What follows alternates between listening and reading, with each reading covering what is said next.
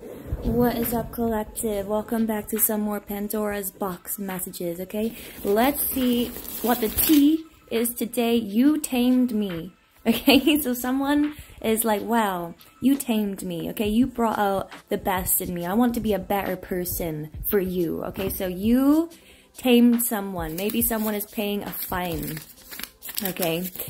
Um, paying a fine, right? So this could be to do with legal matters, anything like this. Debt, okay? So debt could be important. Angels, come through. Karmic children could be affecting a situation.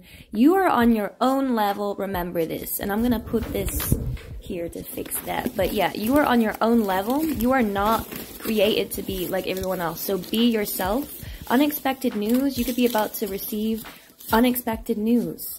We have escapism, okay? So someone could, you could be trying to escape a situation, okay? Or, um, yeah, you could be like, I don't know, you feel like you're stuck in something. A Cadillac car, a Cadillac car could be relevant, right? Or cars in general. What else is the vibe for today, angels?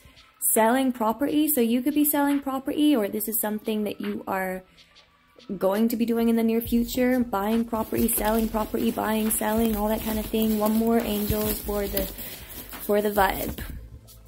Project Monarch and okay, so we have some like mind control energy here. They don't know how to move on. Okay, so someone here with this, I'm getting like obsession energy. Someone doesn't want to move forward and someone really wants control over you.